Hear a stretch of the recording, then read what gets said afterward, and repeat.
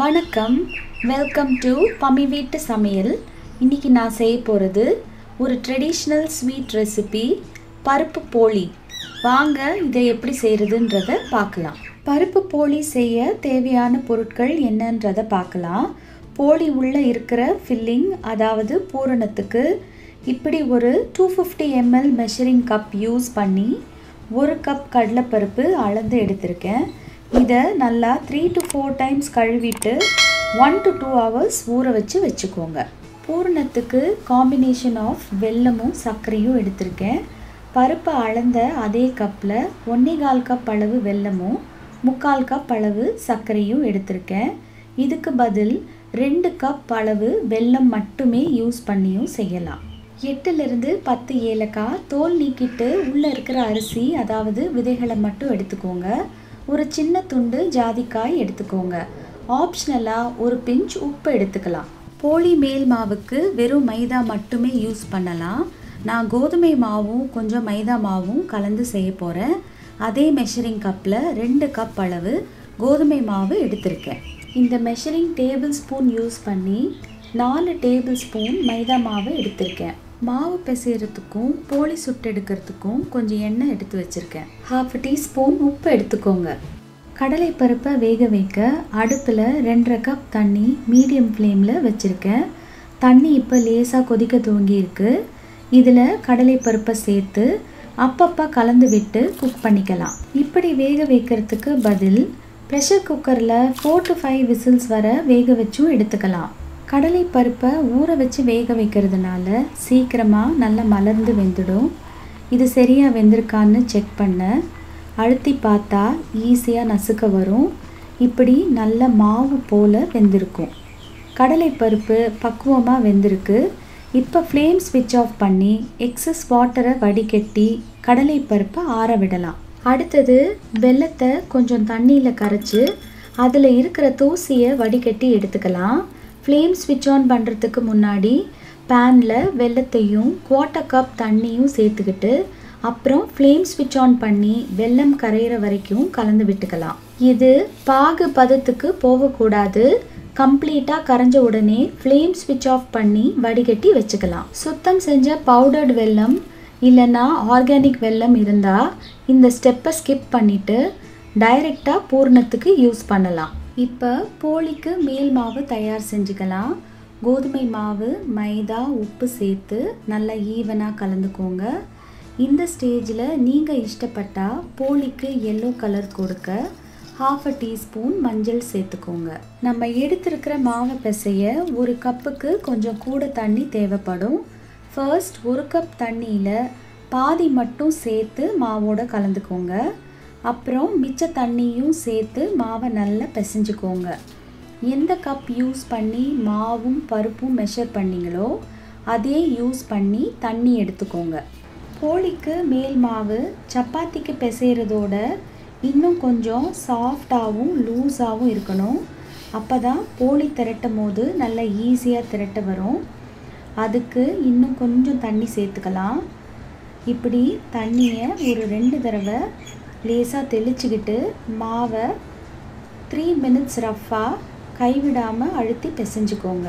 இப்போ மாவு நல்ல சாஃப்டாக இருக்குது இதில் ஃபர்ஸ்ட் ஒரு அரை டேபிள் ஸ்பூன் எண்ணெய் சேர்த்து ரெண்டு நிமிஷம் பிசைஞ்சுக்கலாம். போலி பர்ஃபெக்டாக செய்கிறதுக்கு முக்கியமானது மேல் மாவை நல்லா பிசைஞ்சு சாஃப்ட் அண்ட் எலாஸ்டிக்காக இருக்கணும்.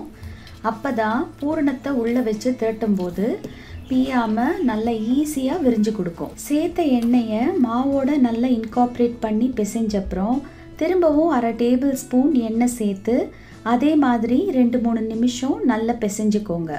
சரியான அளவு தண்ணி சேர்த்து செவன் டு எயிட் மினிட்ஸ் மாவை நல்லா பிசைஞ்சுக்கிட்டோன்னா இந்த அளவுக்கு சாஃப்டாக இருக்கும். இப்போ இது ட்ரை ஆகாமல் இருக்க ஒரு டீஸ்பூன் எண்ணெயை எல்லா பக்கமும் தடவி காற்று போகாமல் ஒரு மூடி போட்டு ஒன் ஹவர் ரெஸ்ட் பண்ண விடலாம். அடுத்தது ஜாதிக்காயும் ஏலக்காய் விதையும் பொடி பண்ணிக்கலாம்.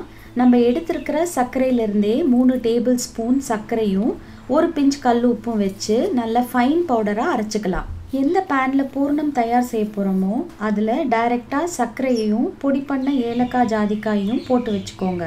ஆறுன கடலை பருப்பை கொஞ்சம் கொஞ்சமாக மிக்சி ஜாரில் போட்டு திப்பி இல்லாமல் மைய அரைச்சி பேனில் போட்டு வச்சுக்கோங்க. இதோட கரைச்ச வெள்ளத்தையும் சேர்த்து எல்லாத்தையும் ஃபர்ஸ்ட் நல்லா கலந்துக்கிட்டு அப்புறம் ஃப்ளேம் ஸ்விட்ச் ஆன் பண்ணி மீடியமில் வச்சு குக் பண்ணுங்கள் இது முதல்ல கொஞ்சம் இலகும் அப்புறம் கிளற கிளற கெட்டியாகும். பூர்ணத்தில் இருக்கிற ஈரப்பதம் தோராயமாக எயிட்டி பர்சன்ட் குறையிற வரைக்கும் நல்லா கைவிடாமல் கிளறிக்கோங்க. அதுக்கு மேலே இதை ட்ரை ஆக்க வேண்டாம். கெட்டியாகி பேனில் ஒட்டாமல் வர துவங்கும் போதே இறக்கி ஆற விடுங்க. இது ஆற ஆற இன்னமும் கெட்டியாகும். பூரணம் ஆறின பிற்பாடு பாருங்கள் இன்னமும் கெட்டியாக இருக்குது கையில் கொஞ்சம் எண்ணெய் இல்லைன்னா நெய் தடவிக்கிட்டு பூரணத்தை பதினாறு உருண்டைகளாக பகிர்ந்து உருட்டிக்கோங்க. ஒரே நாளில் போலி செய்கிறது சிரமமாக இருந்தால் முந்தின நாளே பூர்ணத்தை ப்ரிப்பேர் பண்ணி ஃப்ரிட்ஜில் வச்சுக்கிட்டும் செய்யலாம். ஒரு மணி நேரம் பொறுத்து மேல் மாவை பதினாறு ஈக்குவல் போர்ஷன்ஸாக டிவைட் பண்ணி உருண்டைகளாக உருட்டி காஞ்சி போகாமல் இருக்க மூடி போட்டு வச்சுக்கோங்க. இப்போ போலி திரட்ட ஆரம்பிக்கலாம். மேல் மாவு அளவோட பூரணம் அளவு கொஞ்சம் கூட இருந்தால்தான் போலி சாப்பிட ருசியாக இருக்கும். முதல்ல மேல் மாவை இப்படி ஒரு சின்ன கப் மாதிரி செஞ்சுக்கோங்க. இதுக்குள்ள பூரணத்தை வச்சு ஒரு கையால் நல்லா அழுத்தி தள்ளி விடுங்க. சைமல்டேனியஸாக இன்னொரு கையால் மாவை மேல் பக்கமாக தள்ளி விட்டு கொஞ்சம் கொஞ்சமாக பூரணத்தை கவர் பண்ணிக்கோங்க.